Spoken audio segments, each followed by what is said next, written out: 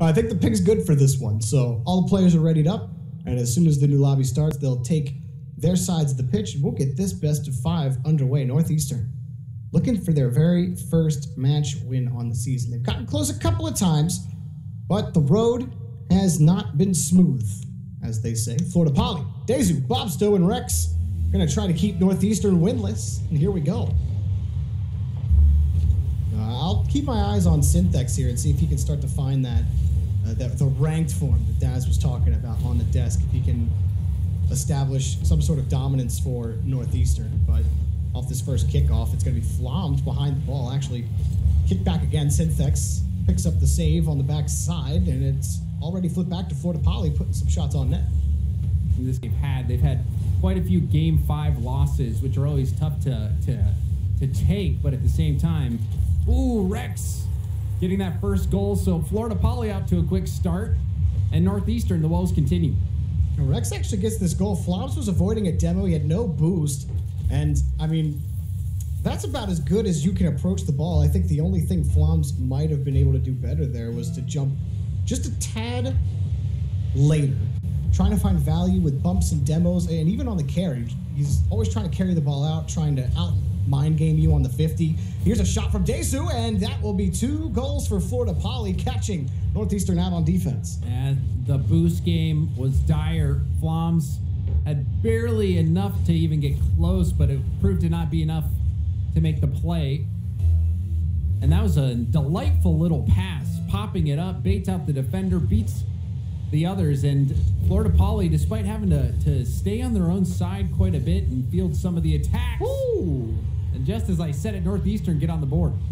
Yeah, it's a pretty nice passing play as well to pull within one for Northeastern. I, I like seeing more of this. The, the passing lanes have been closed for the most part on offense for Northeastern. They just haven't had the chance to set up for the positioning. You know, you can only count on one, maybe two teams out of each conference to really threaten you with infield passing plays. But now you see this and great redirects. Bob Stowe picks up one there. Florida Poly two goal lead. Oh, we saw him making reads on defense. Now this one on offense gets up, twirls around, and gets a perfect hit on that ball.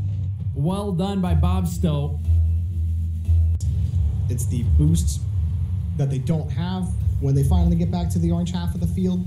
Maybe they get a chance with time left. They actually will score here. Synthex will pick up the missed rebound. There's some time left. Yeah, Bob Stowe, he was just coming off on the respawn. Didn't really have much boost to work with Synthex. He was able to poke it right by Bob Stowe. I think tried to, to act a little too quickly. Perhaps had more time than he realized on that play. This is their last chance, and now playing merry-go-round around their corner. Can't grab the ball in midfield. Bob Stowe, the hero for Florida Poly in game number one, might just give them the lead in the match, and it will. Florida Poly. For Florida Poly, this might be Northeastern's next chance, but that corner's been killing them. They have had no success in that right corner. They've had to win a 50 Oh, like that. Bob And what a Stowe. save Bob Stowe is popping off today. You know, he, he I think he had a misread before that, but to make up for it, he gets that, and now they score. Florida Poly again having to hold off this Northeastern attack, and they find a way to punish as the overcommit comes through from Northeastern. Oh, that's Oh. got to be devastating. the game of rocket. You know, your surroundings are extremely important. Awareness is everything. Look at this pass to Dezu. Oh. Nice shot. Yeah, he's using the side view mirrors, rear view mirrors, backup camera, the vision from Bob Stowe to get it over to Dezu. And that shot, oh, Too Yeah, hard. that the was ball's good. made of lead. That was good. Ball's made of lead. go for it. It's that that finish that is missing, and we'll see if they can bring it back here now. And this is a good chance, a great pass. Whoa. Synthex will finish it off. Jay Frazier did so much work in the corners, and it was rewarded. Yeah, great.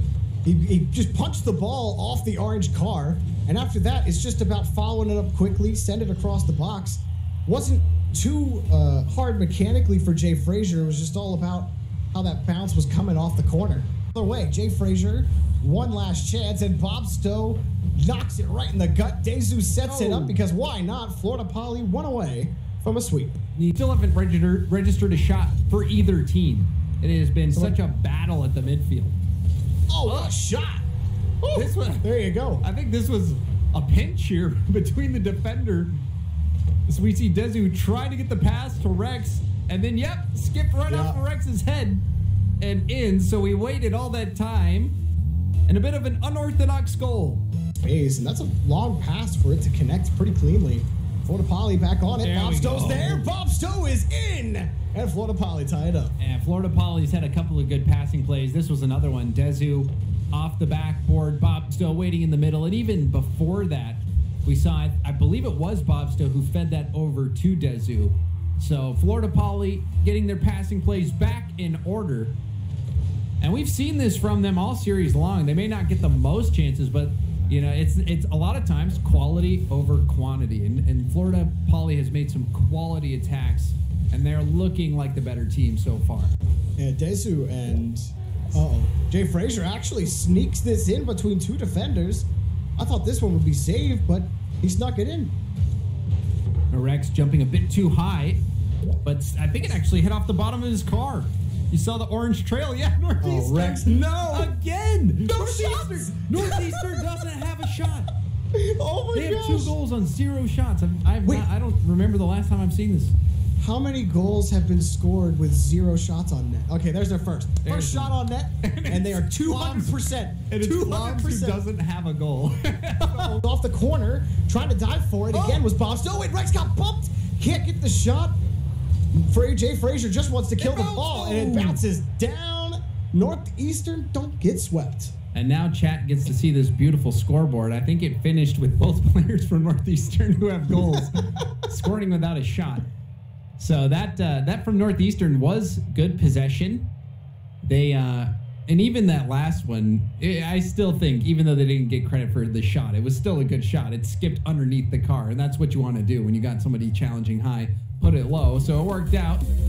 And Northeastern limp away with a win, but they keep hopes alive for a prolonged period of time. It was midfield challenge after midfield challenge, and Woo! already an early goal, three seconds in, Dezu blasted that one off the crossbar, and that was a great shot. Really was perfect timing on the flip. I mean, that's that's what you practice in training to hit that shot every time. Nice little jump there from Jay Uh-oh. Frazier as well. That double commit might Dumping. give them the lead. There it is, and the goal ties it up. Floms with the long call. You see the double commit, Bobstone, Dezu. It wasn't the greatest hit, and it looked like Flom's Full shot. maybe even got grazed. Yeah. on that. He might, I don't know. It was on the replay. It looked like it, it barely he got touched, and maybe he did get pull shot into that. It did like jutted forward a bit after the graze because I saw the same thing you did. But ooh, flip reset. Oh, Dezu, James, you called him out for his offensive prowess earlier. Here he's showing off. And that was such a nice touch. You see him hitting the brakes as No he's going up the wall. I love it. and, and that's that is one thing that I do want to point out that is really difficult is knowing uh, when to use that break to get the perfect first touch. The first touch so important in setting up any shot. And Dezu slamming on the brakes there got a lovely touch to set up that ceiling shot. Trouble. Corner. Dezu kills it completely, and Rex wasn't ready for it. He's got to stay back They're all on it. low. All low right now. The only person with any bit of boost was Floms, but he's using it up on the backboard. Nothing in the tanks, and Bob Stowe will finally be able to break through. Florida Poly, they drain Northeastern and eventually strike. Just Floms was the guy back initially on defense. He had 20 boosts left in the tank on it, and he's basically sitting back. He knows that that carry is coming towards him, but he keeps creeping forward.